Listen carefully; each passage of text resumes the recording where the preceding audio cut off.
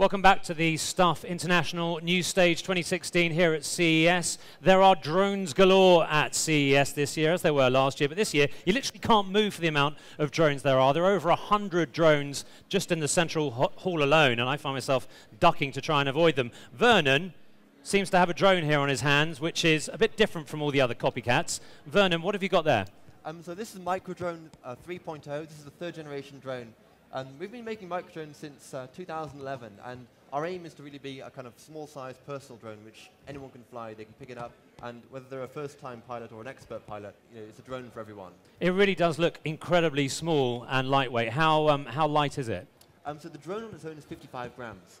Um, we wanted to make it really lightweight so that we could pack technology into it, but also make it um, have longer flight time, but also make it a small-sized device and it's just incredibly portable. Often with drones, I've got a couple of drones, and you know you're looking at big suitcases or backpacks. This one, you literally can literally just put it on the car seat, take it out with you, and just go fly, right? Yeah, that's right.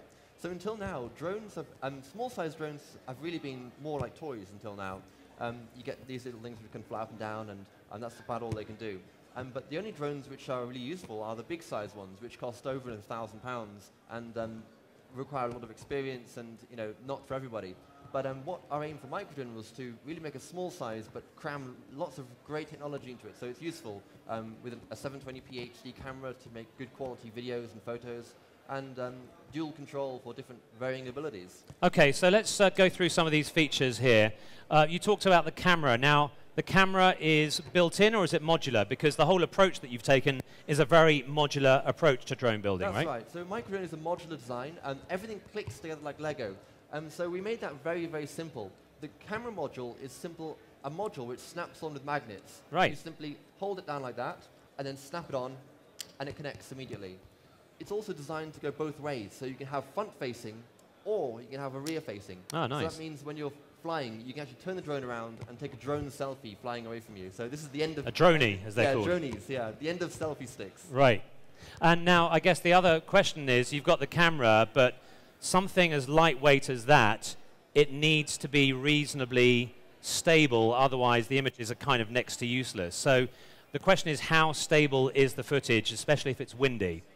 So this is, um, the, for the 3.0, we really worked on the stability to make it very, very smooth. And so you get a very, very good quality video. Obviously, it's not like a GoPro or that, or, or that kind of quality video, but it's a very high quality video which is equivalent to something of your smartphone. All right, so let's see this thing in action. Um, let's sure. just take it for a, a, test spin here. So explain what you're doing then. So there's a couple of controls. You've got your iPhone there, and you've also got a dedicated controller. And it's, is it either or? Do you need the big, hefty controller, or can you simply use the iPhone? So it's actually dual control. So you can fly with multiple devices, either okay. with your smartphone, you can fly that for convenience and, and you know, playing about with, or you okay, can fly with just your smartphone. Yes, just your smartphone on its own. And that's just a Wi-Fi direct connection straight to the to the drone. Correct. Yes. Uh, okay. Um, we're using a special 2.4 gigahertz Wi-Fi. That gives you long range, but also um, low latency. So that, it, unlike traditional Wi-Fi, this gives you a much better um, experience enables you to have live streaming video to your smartphone.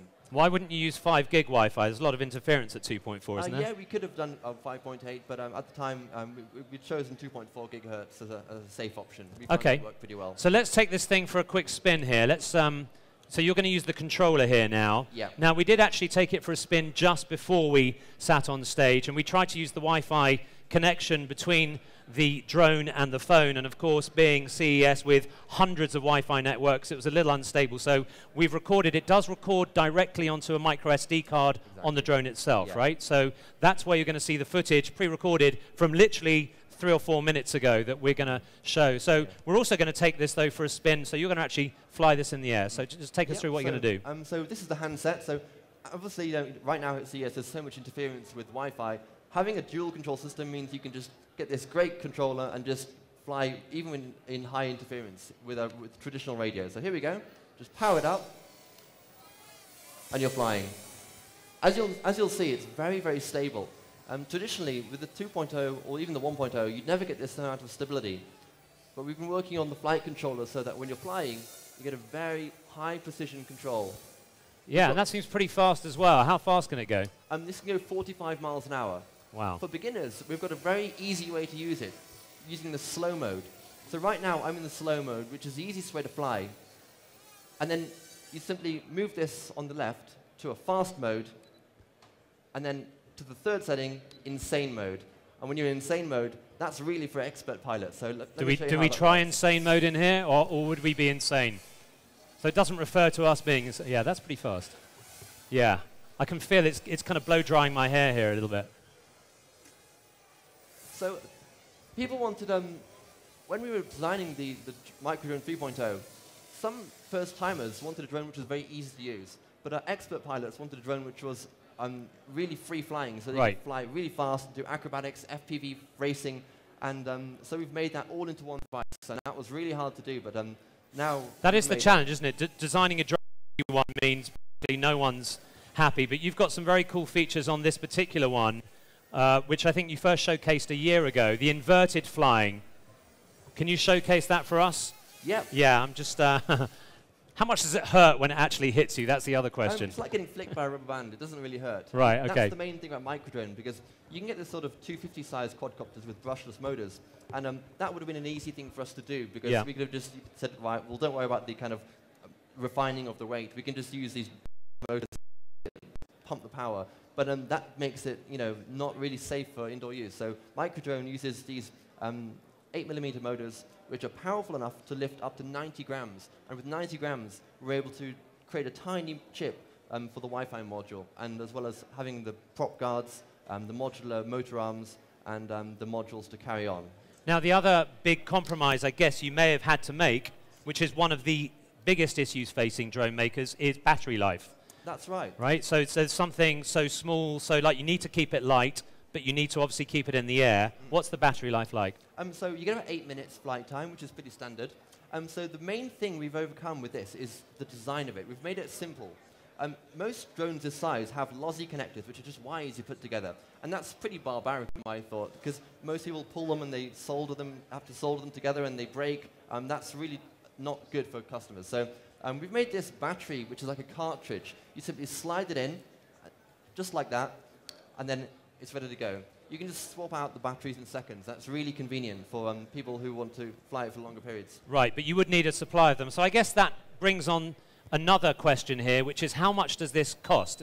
It's a small, easy to use, lightweight drone aimed at beginners and professionals alike. How much are we looking at for this? Um, so it's $200 for the drone, the camera, and the handset, and everything you need to go. Okay, which is actually a fraction of the price of obviously the bigger drones with the exactly. you know the bigger cameras and, and better batteries. It has all these features which kind of gives people a taste of what you get on a bigger system in a small sized device. So I've got the inverted flying now, so oh, okay. show you how it flies upside down. All right. This is a really cool feature. If you, if you were flying away somewhere and you land upside down, you can actually take off again from the inverted position and then flip in midair. So let me see if this works. Here we go.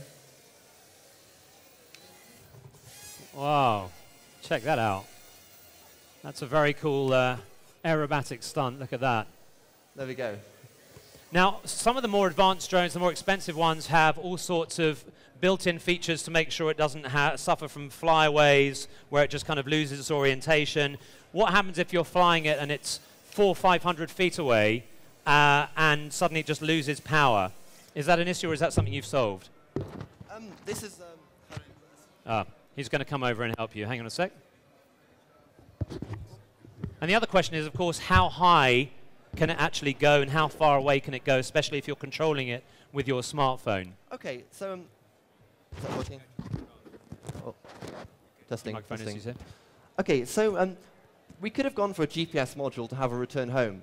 But um, that would have added a lot to the, a lot to the cost. Yep. So we actually stripped that out and then um, to keep it under $200. But we added a, a fail-safe um, we're calling return home, which is a programmed return home, which basically means when you're flying away, no matter which way the drone is heading, just hold down that button and it will return on that straight line. So it kind of reverse engineers, uh, reverse engineers the direction you've been in, knows the waypoints exactly. and just finds its way back. Yeah. I can show you how that works. Okay. So fly down here, and we'll just turn the drone so it's any direction. Yeah. And then just hold the button down.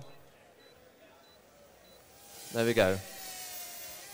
And you've got the two blue lights and the two white lights indicating which direction it's facing. Exactly. But is it fairly straightforward to fly? Because I know, again, a lot of advances from other companies in terms of just making sure that it's not flying in a direction which you don't expect it to because its front is this way and you push this way and it's suddenly very confusing for you. Yeah, so nose in, that's called nose in. And that's one of the hardest things to learn for overcoming the, the kind of learning how to fly drones. So we've created a thing called smart orientation, which basically um, learns the heading of the drone so that no matter when you're flying forward or backwards, no matter where the drone is facing forward, backwards, left, right, you turn left and right, it will always go in So that it goes in the direction you're actually expecting Exactly. it to go. So just to show you how that works, Yeah.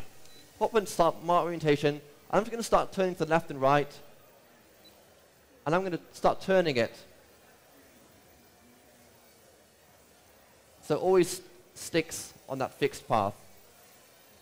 Yeah, that This looks great. great for novices or beginners just to overcome that difficulty of learning. Now, there's no gimbal on this drone, which would automatically stabilize it a lot more. I guess that's to keep the cost down, right? There is, in fact, There we've, is. we've launched the world's smallest gimbal for microdrone. Um, it weighs only 15 grams and it snaps on with magnets. That's launching later in the year. so I And, guess you um, can get away with a lighter gimbal because the drone itself is lighter. Exactly. That's Right. the, the smallest gimbal in the world and basically allows you to fly up to um, the maximum distance, but then turn the camera 90 degrees so you can get a panoramic shot with the video. And you can buy this from where? Um, so we actually launched this on Indiegogo, the crowdfunding website, and um, we uh, launched it earlier in the year, and it, the response has been staggering. Um, we initially wanted to raise 75,000 for the basic production, um, but we smashed that. $75,000. dollars, yes. Yeah. And um, we smashed that in the first six hours of the campaign. Um, as of yesterday, it's raised $3 million, which Wow, incredible. $3 million on Indiegogo. Very impressive. Well, clearly, there seems to be a market for this. But one issue that people have with drones, I, I read some statistics somewhere where people buy drones, they use them for a few hours, they go, yeah, that was kind of fun. They might take them out again, then they just kind of stick them in the drawer and forget about them. Is that, is that something that kind of worries you? Well, that was actually, we tried to solve that by creating a, a drone which continuously evolves. So with the modular design, you've got the magnetic connection, and we're continuously developing all the new accessories for the drone. So today, we actually announced the, the launch of the range extender, which gives you long-range, low-latency video to your smartphone. And that's a revolution for FPV flying. Um, FPV, yeah. first person. First-person view. Okay. It's basically where you see the video from the drone's perspective on the ground. Um, so we've come up with a really innovative solution using Google Cardboard and the smartphone. Um, basically, you pop it, um, you launch the accompanying app. That's, um, That's, that's the what you get. interface, yeah. Um, put it into 3D mode, and then it splits the video into 3D. And then you simply put it into your Google Cardboard like this, which is really cool. This is made by DodoCase. We worked carefully with these, with these, um, with DodoCase to make a really ergonomic and, and comfortable FPV headset. Um, and then, then you see it live and um, fly first-person view. And with the range extender, you can get up to 500 feet live streaming video. Yeah, so I'm seeing a, a hugely magnified iPhone screen here that looks much bigger, of course, and much better than it would just simply by having it um, uh, in my hand. All right, Vernon, well, great stuff. Thank you very much indeed. That's Great. the Microdrone 3.0. Stay with us here at the stuff stage at CES. Plenty more time, including a camera with no less than 16 lenses, if you can believe that. Stay with us.